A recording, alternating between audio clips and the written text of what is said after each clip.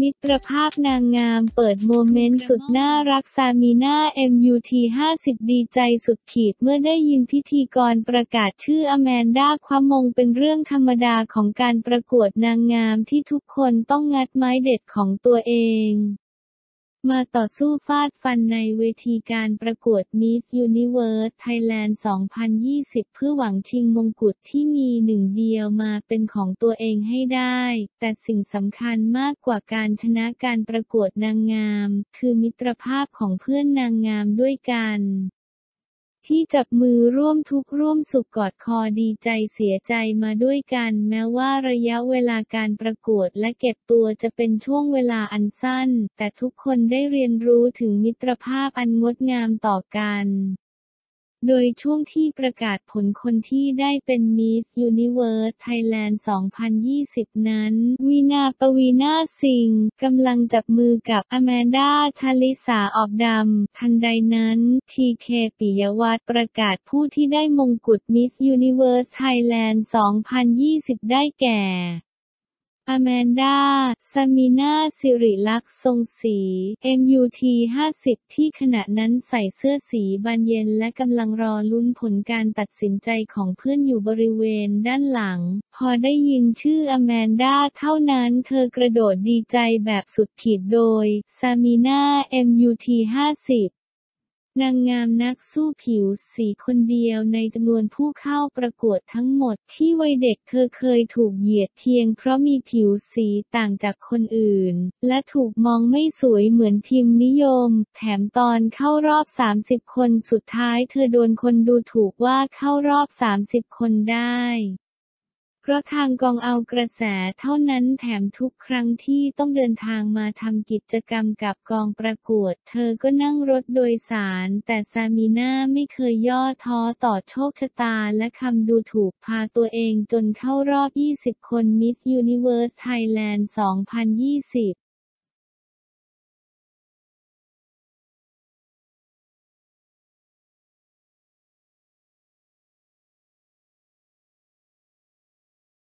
หลานหม่ำจ๊กมกโดนโต๊ะหล่นทับเท้านิ้วโป้งขาดใจคนเป็นแม่แทบสลายทำเอาหัวอกคนเป็นแม่อย่างเอ็มบุษราคำลูกสาวคนสวยของหม่ำจ๊กมกใจแทบสลายเมื่อเห็นภาพบาดใจหลังน้องนาฬิกาลูกสาวตัวน้อยเกิดอุบัติเหตุโต๊ะหล่นทับเท้าจนนิ้วโป้งขาดโดยล่าสุด 11 ตุลาคม สาวเอ็มโพสต์ในเฟซบุ๊กระบุว่า ดวงใจของหมาม้า วันนี้หมาม้าใจสลายมากที่สุดและถ้าเลือกได้ขอเจ็บแทนอยากฝากไว้เป็นอุทาหรณ์ให้กับทุกๆบ้าน ว่าเฟอร์นิเจอร์สวยงามช่างมันทิ้งมันไปก่อนเมื่อบ้านมีเด็กเล็กแล้วความปลอดภัยต้องมาเป็นที่หนึ่ง วันนี้น้องไปเที่ยวเล่นบ้านตาแต่ไม่ได้เล่นที่โซนบ้านหลังใหญ่เหมือนทุกครั้ง เปลี่ยนมานั่งเล่นอีกโซน เปิดหูเปิดตาดูหมาดูแมว ทุกอย่างเป็นไปตามปกติกินข้าวอะไรกันไปแล้วก็เล่นกันตามอัธยาศัย เสี้ยววินาทีเดียวน้องนาฬิกาไปค้ำตัวกระจกทำให้โตทิ้งน้ำหนักถมลงมาหล่นโครม ทุกอย่างเงียบกริบลูกก็เงียบน่าจะกลัวโดนดุหมามาแวบหันไปดูว่าโตโดนขาไหม ปรากฏว่านิ้วโป้งน้องขาดภาพบาดใจมาก ช็อกจนร้องไห้ไม่ออกวินาทีนั้นคนรอบข้างยังมีสติบอกให้เอานิ้วแช่น้ำแข็ง แล้วก็รีบพาลูกไปรบเหตุเกิดบ่ายสามน้องนาฬิกาได้ผ่าตัดตอนหกโมงเย็นและเสร็จเรียบร้อยตอนทุ่มกว่า ทุกอย่างผ่านไปได้ด้วยดีและหวังว่าทุกอย่างจะกลับไปเป็นเหมือนเดิม ใจคนเป็นแม่อยากจะทุบอกตบหน้าตัวเองหลายๆ ครั้งมันเจ็บเจ็บเจ็บเจ็บเจ็บเจ็บเจ็บที่ใจ เจ็บแทนลูกแต่ลูกเป็นนักสู้มาก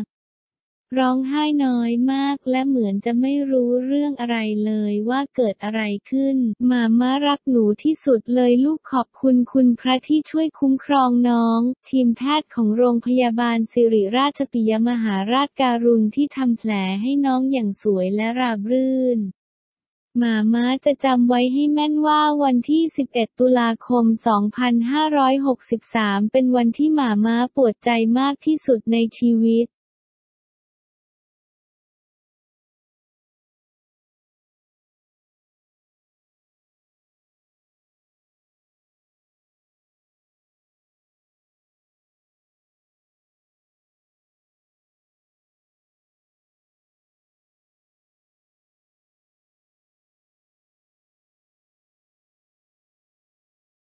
หม่ำช็อกน้ำตาไหลไม่เคยเห็นน้องนาฬิกาเจ็บขนาดนี้หอบชิ้นเนื้อไกรพอ ห่วงเสียโฉมน้องนาฬิกานิ้วขาดวันที่ 12 ตุลาคม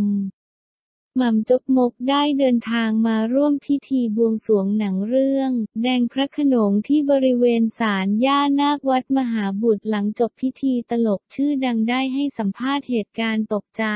น้องนาฬิกาหลานสาว เกิดอุบัติเหตุโต๊ะกระจกล้มทับนิ้วโป้งเท้าขาดเพิ่งเกิดเรื่องกับน้องนาฬิกา ตกใจมากเลยตอนนั้น แทบช็อกเดี๋ยวเสร็จตรงนี้ก็จะรีบไปเยี่ยมแล้ว นิ้วไม่ได้ขาดทั้งหมดใช่ไหม ไม่ไม่มันหายไปนิดเดียว แหว่งไปนิดนึงมันยังมีเศษเนื้ออยู่ก็เลยเอาไปต่อไว้ เหตุการณ์เกิดอะไรขึ้น เขาคงจะไปพิงโต๊ะกระจกมันล้มได้ดีนะกระจกมันหนาไม่ได้คม ถ้ามันแตกคงจะแย่กว่านี้ แต่ถ้าโดนขาคงไม่เป็นไรนะ แต่มันไปโดนหมิ่นมิน แค่นั้นแหละ แต่เห็นว่าน้องไม่ร้องเลย คงจะกลัวแม่แหละตกใจเสียงยายด้วย เพราะยายมาเห็นก็ตกใจยายร้องเสียงหลงเลย ไอ้เราก็อยู่ด้านนอกกำลังตัดตัวอย่างหนังอยู่ พอไปเห็นก็ตกใจสงสารไม่ร้องสักอะเลยนะ สงสัยจะตกใจกลัวแม่จะดุด้วยตกใจเสียงยายด้วย พอเราเข้าไปเห็นช็อกเลยไหม ผมก็ช็อกสิพอเมียผมเสียงแตกผมก็นึกว่าเป็นอะไรกันพอเดินไปดูหลานก็แทบจะเป็นลมเหมือนกัน เลยรีบพาไปโรงพยาบาลและหอบชิ้นเนื้อที่มันหลุดมาหน่อยหนึ่งแช่น้ำแข็งไป เย็บกี่เข็ม น่าจะหลายเข็มอยู่นะก็เพิ่งโทรหาลูกเขยเมื่อกี้นี้ นั่นก็ร้องไห้หนักยายก็ร้องหนักเราก็น้ำตาซึม ไม่เคยเห็นหลานเจ็บขนาดนั้นลูกเขยบอกว่าพอตื่นมาเขาก็บ่นเจ็บตรงขา แผลน่าจะสมานกันได้ไหม หมอบอกว่าน่าจะสมานกันได้ เพราะมันหน่อยเดียวเองตรงแค่ช่วงเล็บกลัวหลานเสียโฉมไหม กลัวมากเลย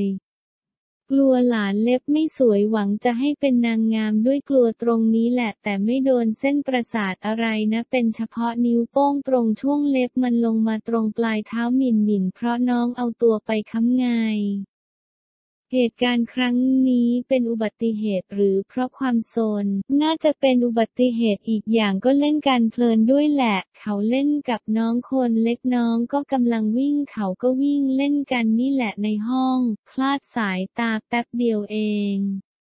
มันเป็นบทเรียนของพ่อแม่ด้วยมัง้ง คืออย่าให้หายจากสายตานะอะไรที่คิดว่ามันจะเป็นไปได้เอาออกห่างเลย เมื่อคืนผมยกโต๊ะนั้นออกเลยยกทิ้งเลยเกือบจะทุบแล้วโมโหมานั่งนึกก็มันเป็นอุบัติเหตุแหละ เป็นโทษตัวเองไหม มันเสี้ยววินาทีเองผมก็พูดไม่ออกสะอึกเลยเห็นเมียร้องไห้เห็นลูกร้องไห้ก็ใจไม่ดีน้ำตาจะซึมพอลูกออกไปโรงพยาบาลก็น้ำตาไหล แล้วตอนนั้นเรานัดทีมงานมาคุยเรื่องหนังเรื่องใหม่ด้วยสองถึงสาม เรื่องวุ่นไปหมดพอมาเจอเรื่องหลานทีนี้เซ็งเลย นั่งนิ่งไปเกือบสองชั่วโมง จากนี้ของในบ้านต้องเคลียร์ของเลยไหม